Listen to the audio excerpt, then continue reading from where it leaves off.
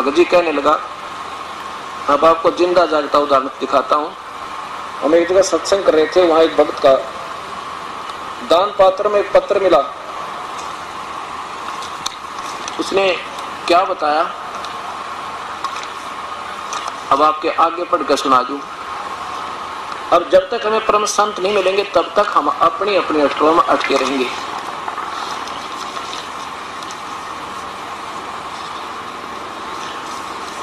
इसने क्या बताया कि जी मैं, मेरी पत्नी दो बच्चा न छोड़कर चली गई। और मुझे दमे की बीमारी, दोनों बच्चों की परवरिश के लिए मैंने चोरी का सहारा ले लिया, चोरी करने लग गया। और आपका सत्संग सुना मैंने आज ही, और आज आपका नाम भी ले लिया। और मेरे दोनों बच्चे चूहों की गोली खाकर मर गए।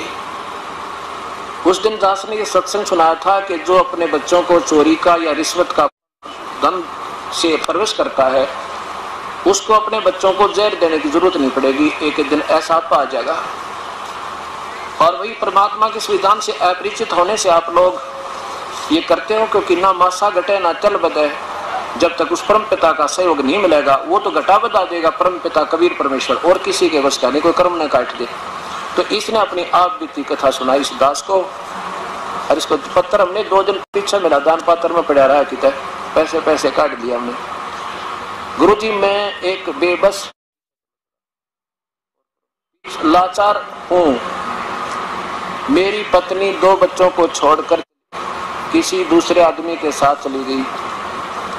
मैं सांस की बीमारी का मरीज़ हूँ। मेरे पास कमाने का कोई साधन नहीं था। इसलिए बच्चों के पालने के लिए मैंने चोरी करना शुरू कर दिया। उस दिन भी मैं चोरी करके आया था, लेकिन मैंने आपका सत्संग सुना तो आपने, आप अपने आप से नफरत हो गई।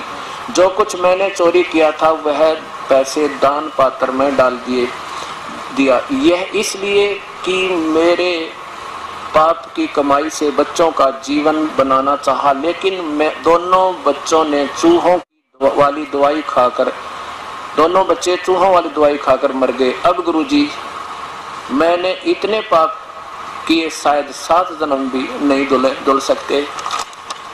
परमात्मा, सकते। कल मैंने आपसे उपदेश भी ले लिया।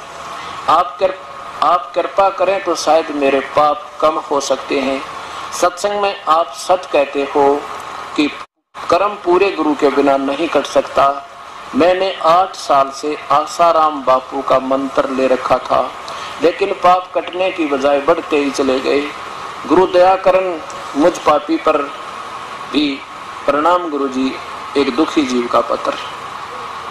अब ये सोचना कि देखो, दास ये अभिमान नहीं करता कि मैं बहुत बड़ा संत हूँ या मैं बहुत लेकिन मेरे भगवान वो समर्थ हैं जिसकी मुझे आड़ मिली हुई है।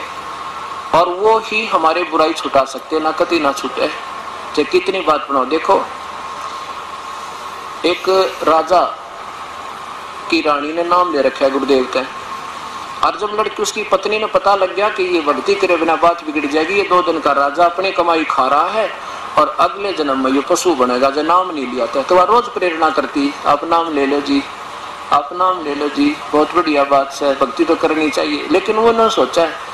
वो नो कहा, मैं रोज भक्ति करने लग रहा सुबह उठते अपना मंत्र करता हूँ भाई जाप करूँ जैसा भगवान, हरे राम हरे राम करूँ। और के नाम लिया करें गुरु जी क्या होता है? अब वो कहने लगे, जी गुरु जी बिना बात बिना नहीं करती। गुरु बिन माला फेरते, गुरु बिन देव दान, गुरु बिन दोनों निष्पन्न चाहे पूछो वेद प्राण गुरु जी ऐसे बताते तो वो ना सोचता, ये औरत है ना, ये ऐसे सीधे से दिमाग की होती है, अनुभव को बहका दे उससे भी बात नहीं तो डरने के लिए कदे उपचुक हो जा मैं और बका रखी हो किसी बेवकूफ़ गुरु ने, मैं कभी जाऊँगा उसकी, इसका, इसकी आँखें आगे उसके हाथ को आ दूँगा भी क्या ज़रूरत है गुरु बनाने की, अपने घर में भक्ति कर ले। जब उसने काफ़ी कहा तो एक दिन कहने लगा, मैं चलूँगा तो आपके गुरुदेव से मैं बात करूँगा तो मेरी शंका का समाधान कर देंगे तो मैं नाम ले लूँगा। अच्छा जी चालिए होता पर बोलिए ढंगते वहाँ पर गुरु जी का आगे उल्ट सुल्ट मत बोलिए अगना मैं ठीक बोलूँगा अब राजा जी आगे। रानी ने कहा, गुरुदेव, आज तो ये भगत जी भी आगे हैं और आपसे दो बात करेंगे, फिर नाम लेवेंगे अच्छा बेटी, कोई बात ना, चाहे सौ बात कर लो, नाम ले लो किसी प्रकार।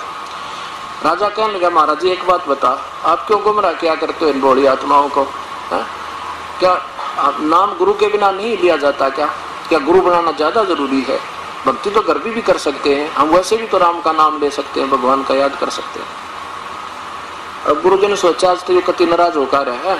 और जय मैं इसको समझाना चाहूँगा कति उल्टा पड़ेगा। मानने को नहीं फिर राजा भाई ना तो ये सुना नहीं करते राजा लोग।